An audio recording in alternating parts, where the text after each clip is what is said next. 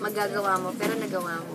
Siya 42, masakit na siya. Siya half. Ako half. na masakit na nang ginawa ko sa buong buhay ko. Ah, eh, hindi ko ma-explain. Hindi ako nakalagad pagkatapos. Hindi ako nakakain. Akala ko kakain ako ng marami, di ba? Tumakbo ako ng ganun talaga. Wala talaga. But yung experience, yung mga tao na kilala ko habang tumatakbo, yung nakikita ko, yung nararamdaman ko, hindi ko ipagpapalit kahit saan. So you can say that kahit after ng teleserye, tutuloy niyo pa rin yung balito.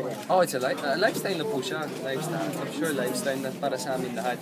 At sana pag nakita tayo ulit, ganoon din kayo. I mean, hindi ganoon ganoon ka-intense na kailangan, pero alam mo yun, yung sabi ko nga kanina, personal goal ko na makapag-inspire ng mga tao na mag-exercise, magkaroon ng happy happy and uh, healthy lifestyle.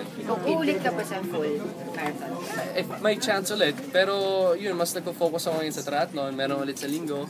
Uh, Subit. Sa Subit. Excited ako doon kasi malaking race din yun. Eh baka ano ah. Na ma- ma-disqualify ako dahil may drafting daw eh. Pwede? Pwede daw. Ano plans for Mother's Day? Plans for Oh. Mother's Day. For your. Secret, hindi... Ah, malalaman na nanay ko pag sinabi ko eh. Pero may Gerald, ka. uh, binalak niyo ba na sumali kasi sa mga national team, ganyan, para mag-visit bansa, yung part ng national team? compete sa ibang bansa. Wala naman po sa ako, wala naman sa gusto kong compete sa Tulad ni ibang Richard bansa. Gomez, di ba? Nag-visit pa. Gusto ko lang, ang kakompete ko lang yung sarili ko, yung kakayanan ko, yung yung abilidad ko para gawin ng isang bagay. Yun lang. Mhm, About Gerald. Honestly, mayabang kasi ako eh. So talagang gusto ko talaga i-represent yung country ko sa ganong sports. As kaya nung pumunta ako sa LA Marathon, sobrang parang living a dream eh na suot ko pa yung flag ng Pilipinas at ah, ang daming Pinoy na nag-root para sa akin. Eh, bata pa lang ako, yun yung pangarap ko. Um, but nakakaya sabihin kasi ang daming mga magagaling na Pilipino na gusto mag-represent ng bansa.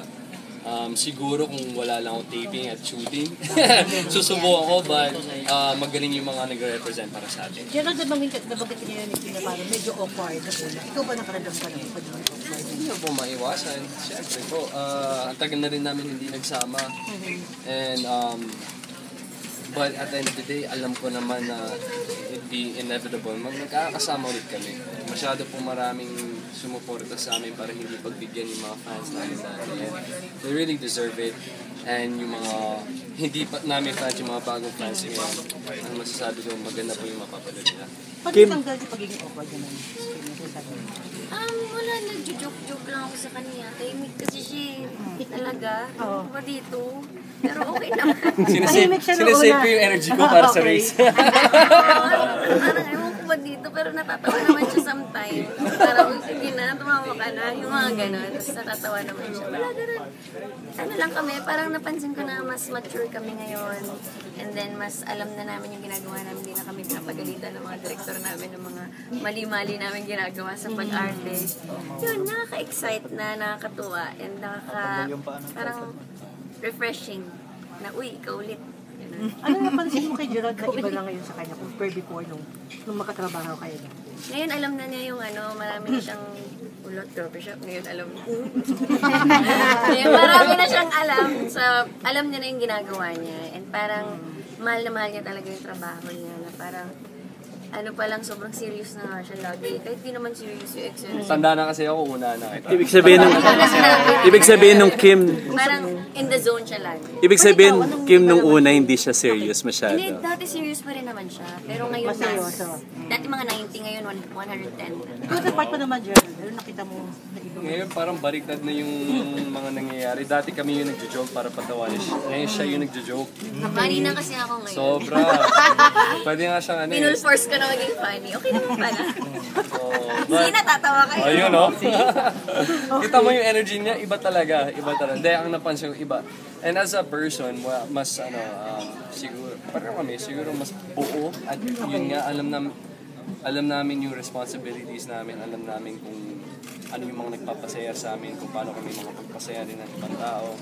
And yun, siguro, haba din, ang, ta- ang tagal din nun eh. So, uh, nung nakasama ko siya sa unang eksena, sobrang familiar na weird kasi nga parang natulala ako for a while. Lalo na nanonood ako ng playback and uh, just ganun ako na tao. I just, I, I try to live in the moment at uh, medyo nawala ako doon for a while kasi parang hindi ako makapaniwala na nangyayari to. And you're very open naman lagi mo sinasabi na pakalaki na ko ng loob kasi kasi kung nagsimula ka talagang siya yung kasama mo. of course. Um, just like kung saan ako nang galing ako Jensen, alam po kung saan ako nang galing.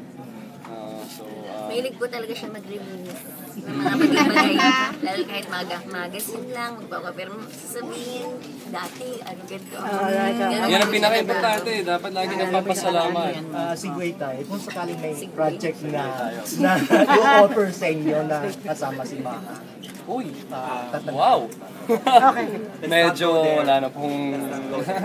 Okay lang naman, kahit sino. Kasi para naman kaming artista eh. Eh, blessing pa rin yun. Blessing pa rin yun. Or maybe a movie. Gerald? Or maybe a movie kayong dalawa Maybe a movie.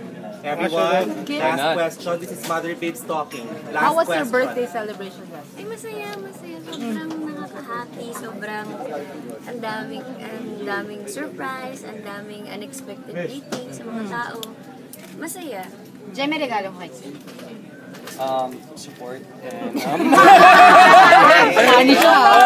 Nakawa ako sa kanya and uh, extra energy. Kahit hindi niya kailangan. What was the best birthday gift you've That's received? the last one. Letter. Galing? Long letter. Galing? Kasi, Mother babes, one na lang. Mother babes. One na lang po. Na-touch Kim? dun sa letter. kaya syempre effort po yun and hindi lahat ng tao nagbibigay ng letter. Ang sweet. Kim, Kim, Kim, you, you want. So much. Meow.